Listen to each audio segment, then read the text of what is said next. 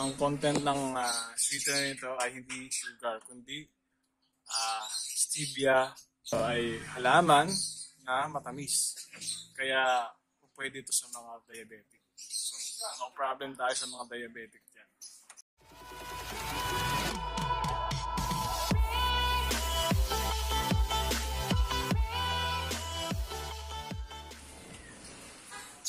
Hello, good morning.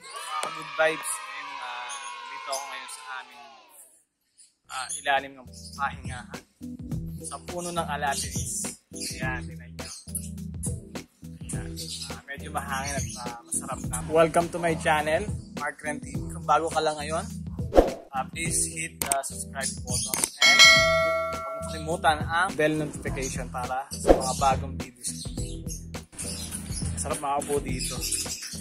Ngayon, naisip ko lang, uh, parang gusto kong i-content yung isang product. Kaya nung nakarang araw, bumili ako ng isang product na gusto ko talaga.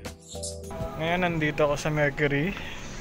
Maghahanap tayo. Hanapin ko yung sinasabi nilang masarap na koko na walang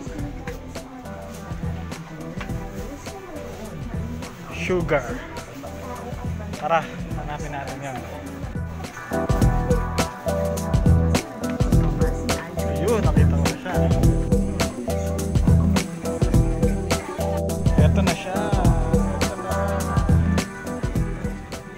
Glorious Blend 7-in-1 Choco. Ayan, makikita natin yung ating product. Napakaganda ng box. Box pa lang. Ayan, napaka high-end. So, napakaganda ng box. Glorious Blend Choco 7-in-1. Pinili ko siya sa Mercury. Lahat ng mga ingredients ito ay natural.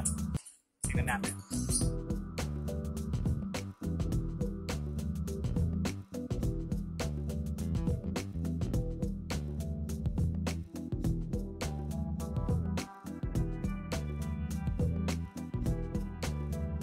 Pwede ito sa mga diabetic.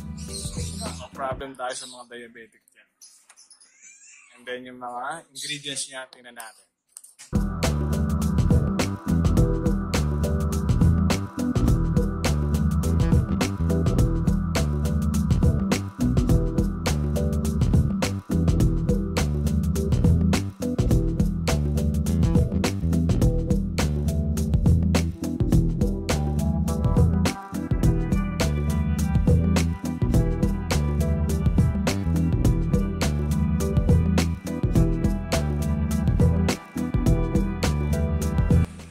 Sa panahon natin ngayon, di ba, ay meron tayong COVID-19.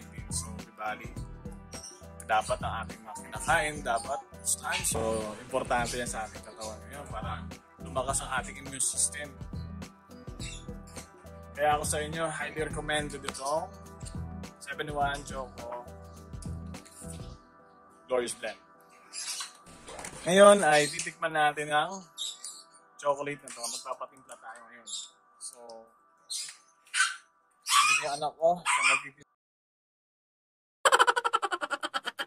ng 71 Choco. Ano pangalan mo?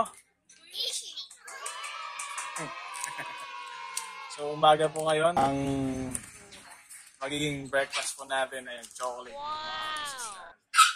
Ayan, nagbalik po tayo. So, ngayon ay nakatimpla na tayo. Tikman natin ngayon kung anong lasa.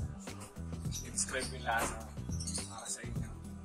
So, pwede nyo itong mabigay sa Mercury, sa Google, lahat. Okay? Tikman natin. Mainit talaga. Oo. Ha? Tikman mo na. Wow. Hindi pa na issue. Tikman natin. Ito. Ako bibigyan.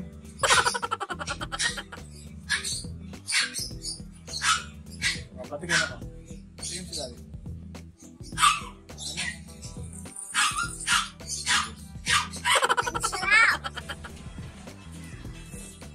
Mm. Ako bibigyan, ako bibigyan.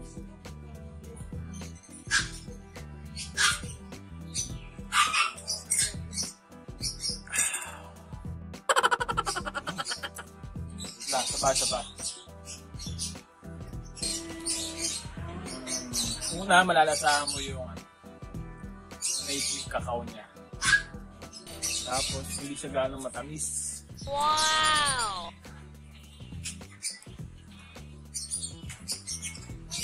Chokon-choko yung kanyang lasa. Sarap.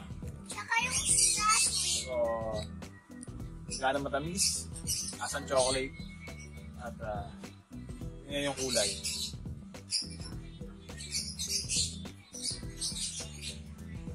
Dark chocolate.